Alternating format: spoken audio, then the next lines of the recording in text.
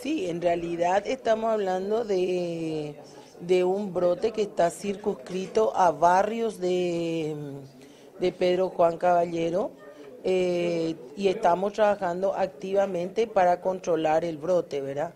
Eh, también estamos haciendo investigaciones en los departamentos vecinos para ver también si estamos teniendo algún caso aislado. Hasta el momento lo que sabemos es que esto está circunscrito a Pedro Juan Caballero, pero tenemos que tener en cuenta de que desde el 2015 nosotros estamos teniendo circulación activa de Zika y chikungunya, solo que en nuestro país tenía el chikungunya una característica en cierta forma particular que se localizaba en Asunción Central y Paraguarí. Ahora estamos teniendo eh, claramente un brote en Pedro Juan Caballero, lo cual indica que ese comportamiento ya no es así.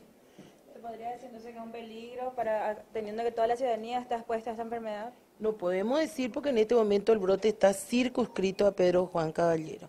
Nosotros tenemos, nosotros estamos intensificando todas las acciones para controlar ese brote allí. No podemos hablar de que hay ese peligro en el resto del país porque en el resto del país no estamos teniendo esas circunstancias. Pero sigue la alerta entonces con el dengue. Sí, seguimos. Nosotros no hemos dejado de tener una alerta en el sentido de que estamos en este momento en reducción en lo que se refiere a dengue en Asunción y Central, no estamos teniendo dispersión a otras regiones y estamos en este momento con un brote activo circunscrito a determinados barrios de Pedro Juan Caballero. Esa es la situación actual. Doctora, ¿podría mencionar los síntomas de chikungunya y bueno, cuáles son las consecuencias fatales que provocan en la persona?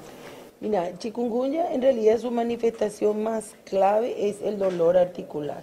Empieza con fiebre, eh, con ronchas también.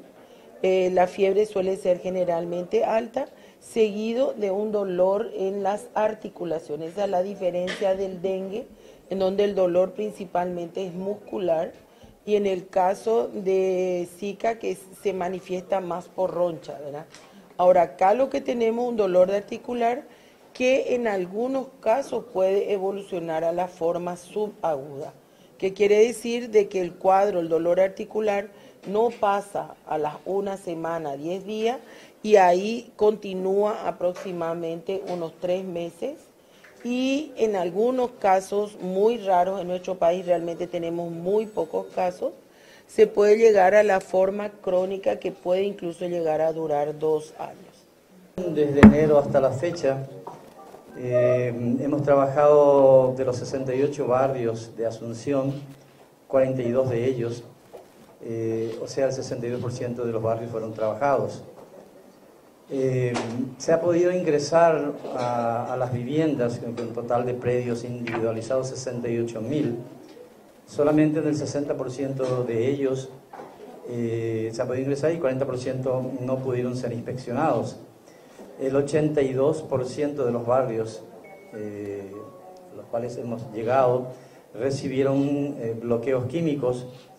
Eh, sin embargo, del total de, criaderos, el 86% de los predios infeccionados se hallaron criaderos en Asunción.